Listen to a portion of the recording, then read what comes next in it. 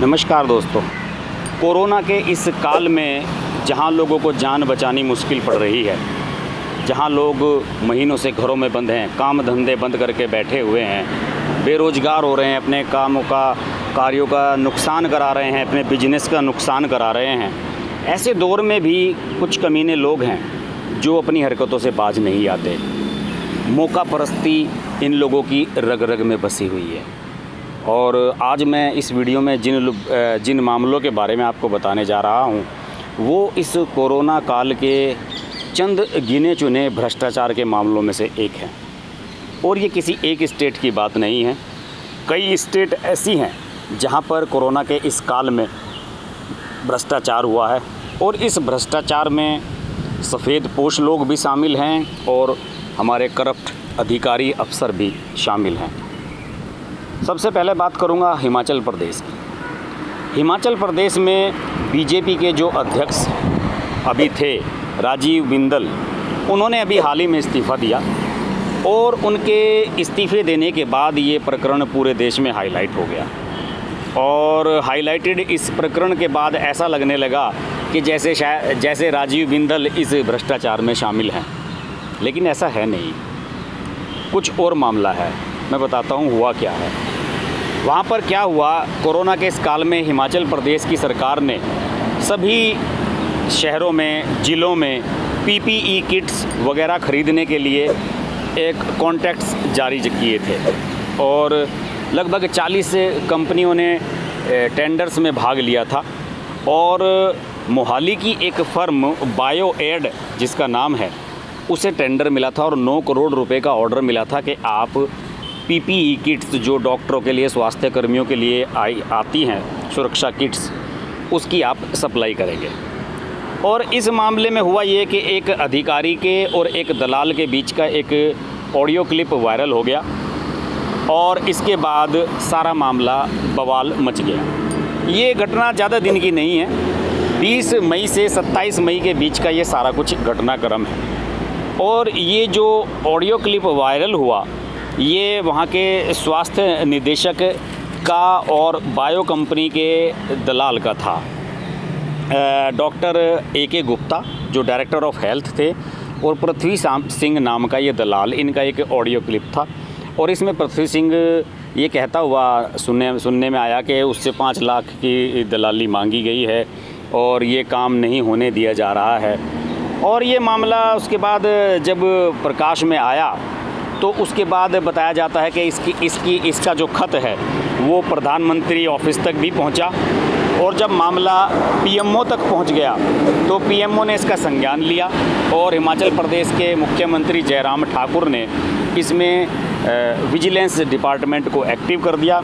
और vigilance department ने इस ऑडियो क्लिप के आधार पर ए के गुप्ता और पृथ्वी सिंह को गिरफ़्तार किया।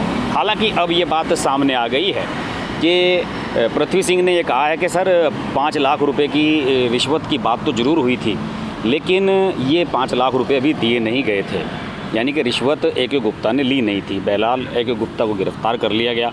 मामला तूल पकड़ने लगा, हल्ला मचने लगा, विपक्ष के दलों ने हंगामा मचाया, और पता नहीं कैसे, जैसे तैसे करके पृथ्वी सिंह का जो ताल्लुक़ है, वो राजीव बिंदल से बताया जाने लगा। कई और इस तरह के मामले सामने आने लगे। और जब इस मामले ने तूल पकड़ना शुरू किया तो राजीव बिंदल को थक हार कर इसमें इस्तीफ़ा देना पड़ा।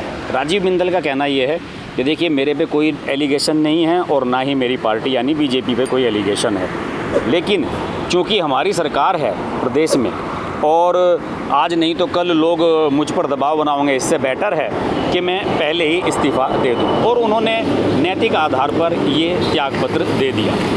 और अब जब त्यागपत्र राजीव बिंदल ने दे दिया है तो मामला पॉलिटिकल भी होता जा रहा है।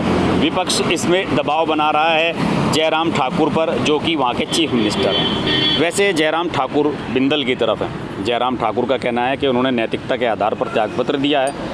और राजीव बिंदल कोई छोटे मोटे नेता नहीं हैं। हिमाचल प्रदेश के बड़े नेता हैं।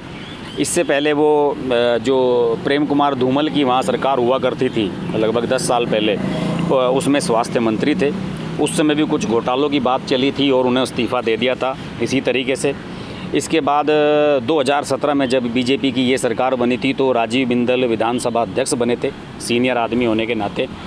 और बाद में उन्हें अभी इसी साल जनवरी में त्यागपत्र देकर पार्टी का अध्यक्ष बनाया गया था। बहरहाल, इस मामले में हिमाचल प्रदेश की सरकार ने जाँच की बात कही है।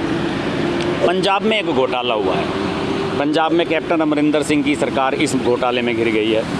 और वहाँ पर भी यही पीपीई किट्स और एन नाइन्टी फाइव जो मास्क आते हैं, बढ़िया क्वालिटी के, उनको लेकर ये मामला हुआ है।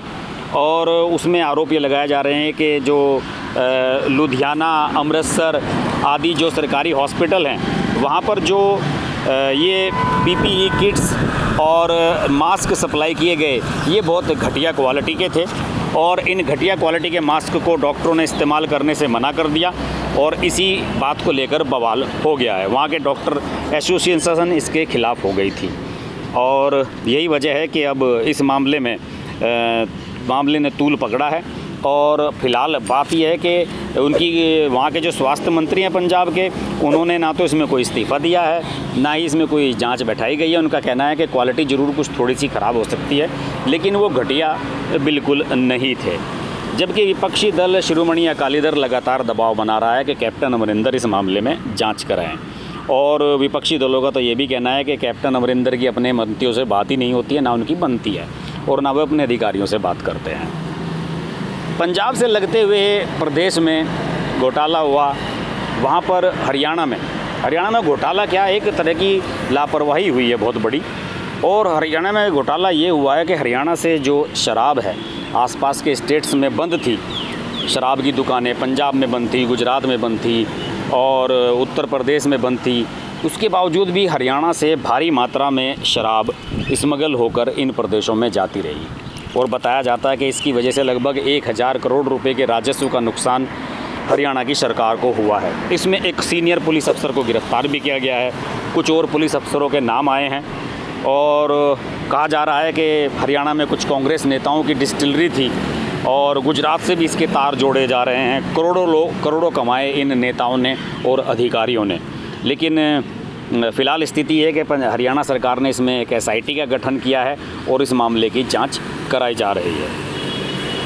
नरेंद्र मोदी का गुजरात, वो भी अछूता अछूता नहीं रहा है। वहाँ पे एक फर्जी वेंटिलेटर घोटाला हुआ है और यहाँ तक कि कहा जा रहा है कि वहाँ पर जो मुख्यमंत्री विजय रूपाणी हैं, उनके जानने वाले एक बिजनेसमैन ने वेंटिलेटर्स हॉस्पिटल्स के लिए दिए लगभग 900 मशीनें लगाई गई और कहा गया कि ये वेंटिलेटर्स हैं और बाद में स्वास्थ्य विभाग के डॉक्टरों ने और अधिकारियों ने वहाँ जाँच की तो पता लगा वो वेंटिलेटर्स नहीं, कुछ और ही निकले। ये तो बहुत बड़ा मज़ाक है। और अब इस मामले में भी जाँच की मांग की जा रही है। ये कहा जा रहा है कि जो ड्रग्स कंट्रोलर है, उनसे लाइसेंस भी नहीं लिया गया था और उसके बावजूद भी कैसे आपने ये मशीनें लगनी दी। तो दोस्तों, एक के बाद एक घोटाले आ रहे हैं। हिमाचल प्रदेश में एक और घोटाला पिछले दिन हुआ था। उसमें मैसर्स, ललित कुमार नाम की एक सप्लायर कंपनी है, उसने hand sanitiser, hand wash supply किए थे। और बताया जाता है कि जिस कंपनी को ये कॉन्ट्रैक्ट दिया गया था, उसका भी कोई लाइसेंस नहीं था। और ड्रग्स कॉस्मेटिक्स एक्ट में कोई लाइसेंस नहीं था उस कंपनी के पास। और उन पर जो नेम उस पर जो प्राइस टैग था, वो दिखाया कुछ, कागज़ों में कुछ था और शीशियों पे कुछ और लगा हुआ था। इस मामले में भी जाँच चल रही है। दोस्तों, शर्म की बात है। सब लोग मर रहे हैं, लोग बेरोज़गार हो रहे हैं और ये अफसर और ये नेता पैसा कमाने का कोई मौका नहीं छोड़ रहे हैं।